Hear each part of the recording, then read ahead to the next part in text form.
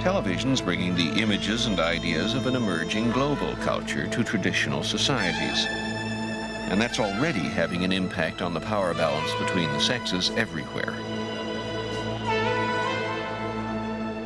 People see a very alien world. Much of it is foreign. It's about places people have never been and will never go to.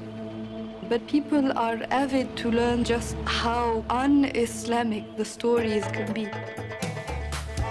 One incident was caused by television. Four young girls decided to escape from the village and go to Cairo and become TV stars.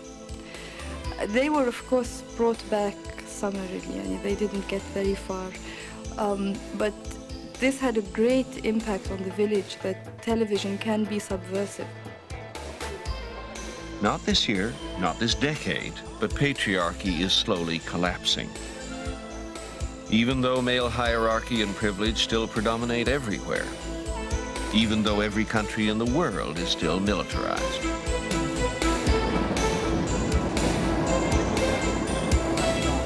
After 5,000 years, patriarchy is not just in our institutions, it's in our heads. But it is not in our genes. The problem is not human nature. It's that mass societies are still trapped inside the ancient machine they built thousands of years ago to deal with the problems of thousands of years ago. The machine called patriarchy was the only way to run an early mass society. It was refined into both a killing machine and a breeding machine as the early civilizations started fighting one another. And we conquered the whole planet with it, thousands of years ago.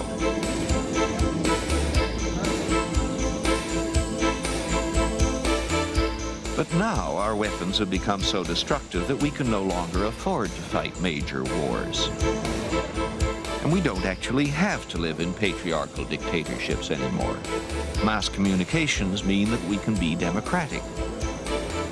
Patriarchy no longer makes sense as an institution.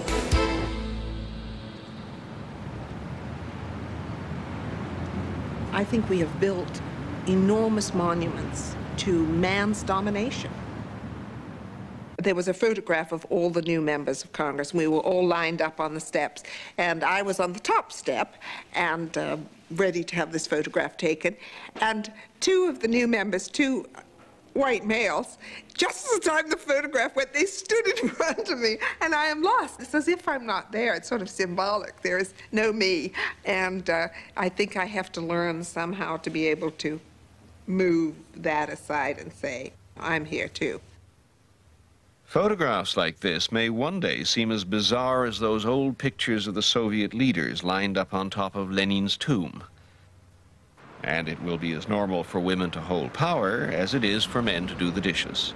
Let's see, tomorrow we have NARAL. Nike, the Nike. Gay and Lesbian Rights Coalition. That's right. Uh, the uh, Somebody that bought something, uh, a dinner with you at an auction. That's right. I have to take them to dinner, squeezed in amongst Nike. and- Basically, what you do is you eat and drink in this job. That's right. No, No. no.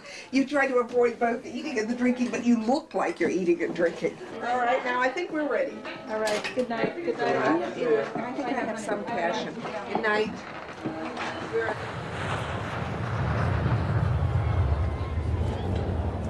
There's no golden age coming, no happy ever afters, but patriarchy is in retreat on every front. And the vital front is right here, where men and women are changing the most fundamental human partnership. The process is often confusing and painful, but we are changing it, and that's a good reason to be hopeful about the human race. If we can achieve equality between the sexes, then the other big problems like war and nationalism and North-South are not insoluble either. And a century from now, people may have to explain to their kids about patriarchy the way we have to explain about slavery. And wouldn't that be nice?